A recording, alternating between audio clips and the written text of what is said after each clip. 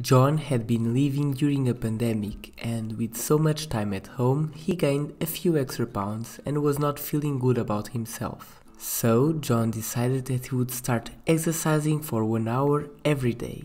He was really excited to finally start working out and he was committed to not miss a single day. On the first day, he worked out as promised.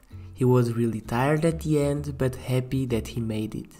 On the second day, John was not so motivated to work out, but he remembered his goal and with great suffering he did it. On the third day, however, John had less time to work out, so he decided to skip the day to rest and come back full of strength on the next day. Unfortunately, the next day was an exhausting day at work. He was so tired that he couldn't even think of exercising. He just wanted to watch Netflix. A few days passed and John gave up. It was not working out as he expected. Most days he didn't have time or motivation to do it. There are many Johns out there who want to start a daily habit, like exercising, reading, or meditating. But all of them do the same mistake. They get excited and set high goals towards themselves. John wanted to be able to work out one hour every day because many of his friends do. But John was not used to work out and his friends are doing it for years now. A few weeks later, John found out a YouTube video talking about the tiny habit technique. The tiny habit technique was really simple. It said that he should shrink his new habit to a size that he was able to do every day no matter what. Doesn't matter if he is not motivated to do it, it is so simple and easy that he can do it. It doesn't matter that he doesn't have time, it is so short that he can do it. The tiny habit technique is like planting a tree.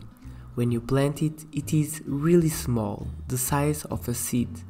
But if you water it every day, it will grow. So John decided to give it another try but this time he was committed to do only 20 push-ups every day.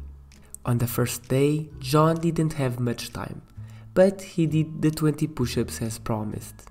It didn't feel like a workout, but he was excited to do something. On the second day, he did 100 push-ups. Not a long workout, but much better than doing nothing. On the third day, he had a tough day at work and came home exhausted. However, before taking a shower, he did his tiny workout of 20 push-ups. He felt so great by not skipping the day that he also did 20 squats as extra credits. A few weeks later, John was doing 30 minutes workouts for several days a week.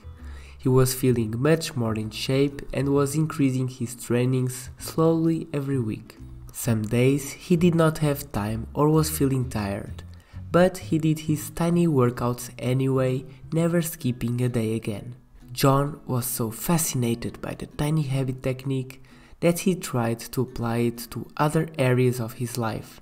He always wanted to floss his teeth, so he decided that he would floss one tooth after brushing his teeth. Flossing a tooth was easy, but he soon discovered that once he flossed one tooth, he would easily floss more of them. The tiny habit technique will support you to not only keep the streak alive, but also by doing a tiny habit it will be more likely that you will continue your habit. I hope you enjoyed the video.